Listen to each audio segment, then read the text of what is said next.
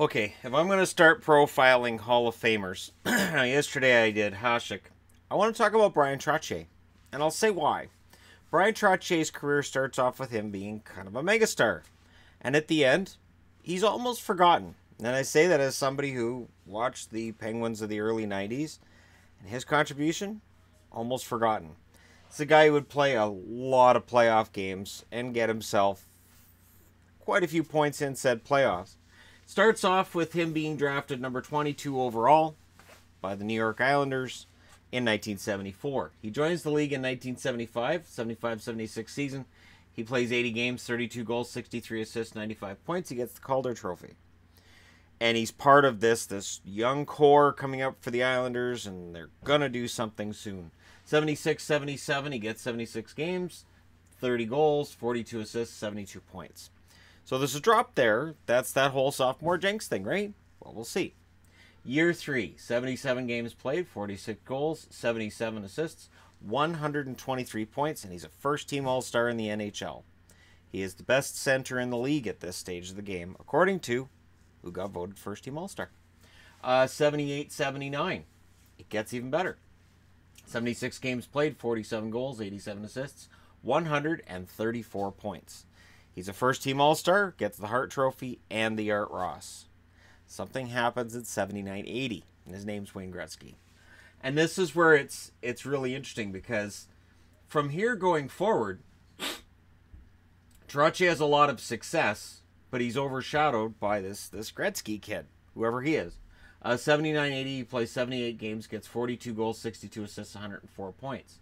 He wins a Conn Smythe that year, the year that the Islanders first win the Stanley Cup.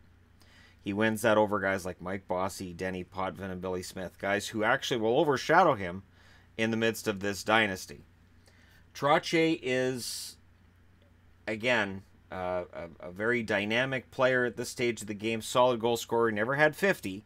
Solid goal scorer. Really good at passing the puck and passing it to this this Bossy kid who turns out to be a pretty good goal scorer in and of himself. And I had thought about doing a Mike Bossy uh, profile today, but I thought no, I'm going to go with Trottier because he's kind of the forgotten guy from that dynasty. In that again, when we look back at veteran players who've had a bunch of Stanley Cup rings, yeah, I don't I don't remember Trottier being a really uh, talked about guy in the '80s, and yet that's because scoring was way up. Oh no, he did get 50 goals. I'm talking about 80, 81, 73 games, 31 goals, 72 assists, 103 points. So he's still scoring 100 points every year, solid. And then he gets his 50 goal season in 81, 82, 80 games, 50 goals, 79 assists, 129 points and he's a second team All Star. And this is a year where it seems like everybody's getting 50 goals. 81 82 was a very offensive season. So again, he kind of gets lost in the mix. 82 83, 80 games played, 34 goals, 55 assists, 89 points. 83 84, 68 games played, 40 goals, 71 assists, 111 points. And He's a second team All Star in the NHL behind Gretzky. Uh, so he has kind of a down year by his standard here with 89 points. Comes back with 111 the year after and only 68 games.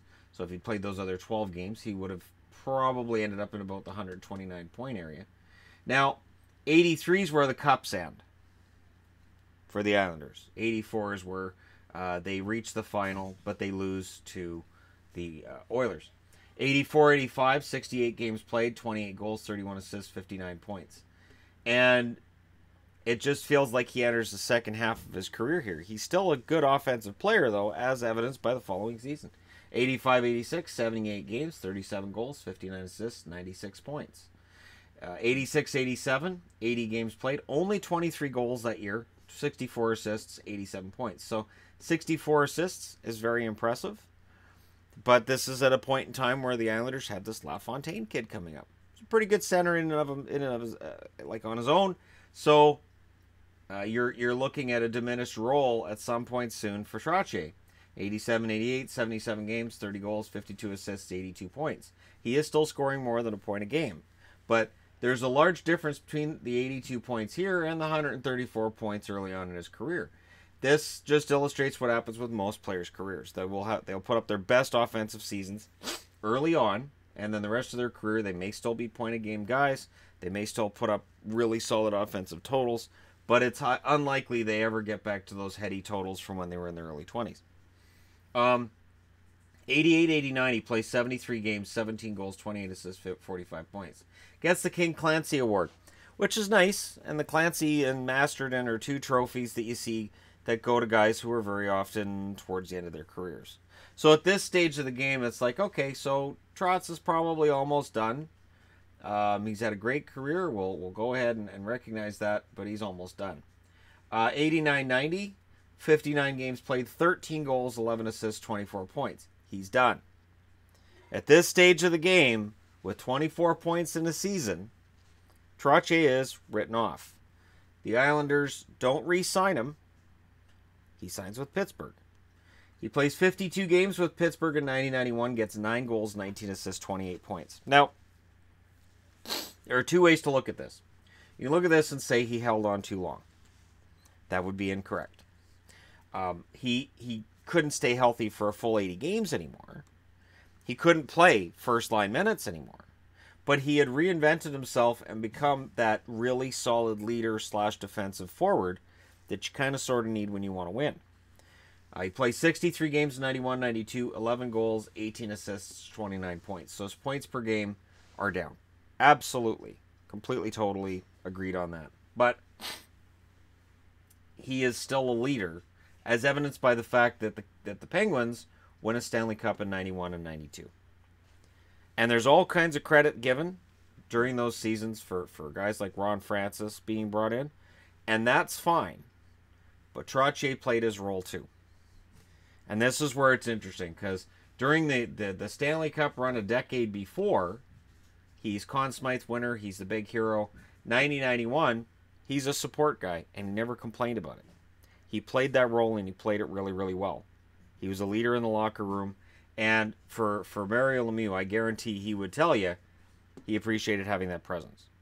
92 93, his final season, he plays 41 games, 4 goals, 11 assists, 15 points. First career, 1,279 games played, 524 goals, 901 assists, 1,425 points.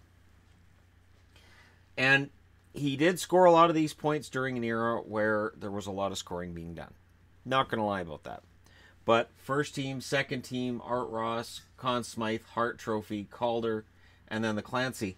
Do you know what's interesting about this, though, is he only had the Hart once, he had the Art Ross once, um, he had the Calder as well. Now, without that Conn Smythe, could you make an argument of, yeah, he had a really good career, he scored a lot of points, but he played for the Islanders, played for the Penguins. See where see this is this is where it's interesting because he's in the Hall of Fame and he belongs there. But there's always going to be that counter argument. In this case, it, it wouldn't hold a lot of a lot of weight. I don't think a whole lot of people would even try making it. But this is why when I look at a current player, current players or recently retired players, we're not sure how they fit into the Hall of Fame picture. Um, and people say, well, you know, and they make an excuse for why they don't belong there. That excuse can be made for guys who are already there in some cases. Um, Bryan Trottier, though, went from being one of the best players in the league, a, a, a dynamic, exciting player, and a winner, to being one of the best support guys in the NHL. And he may not have played a lot of games in Pittsburgh, but to me, that was more impressive. Because I don't know of very many players who've been this 110, 120 point player. Just picture um, I'm trying to think of, of somebody to use as an example here because I would not put Trottier into like a, a Sidney Crosby, Connor McDavid sort of category. But just picture like a Patrick Kane in Chicago. Patrick Kane putting up 25 points in a season and being happy being on a fourth line uh, for, for another team other than Chicago. So Chicago gives up on him and he ends up going somewhere else. And he plays a fourth line role and he scores about 15 to 20 points a year. I you know you just you you likely wouldn't see it now, but uh, it's it's impressive to me how well Trottier changed his game and adapted so he could play a little longer. So there you go. The career of Bryan Trottier. Let me know your thoughts in the comment section below. Don't forget to hit like and subscribe if you're browsing your way through. And yes, with the history videos, I'm going to end up talking about the Islanders a lot in the, the coming days. Uh, so this is sort of a preview of that, and I will definitely talk about careers of, of other Islander greats who played during this era. Because yes, there was an era where the Islanders were a damned impressive team. Thank you guys so much for watching. Hit like and subscribe if you're browsing your way through. You just happened upon this video. I'll talk to you again soon.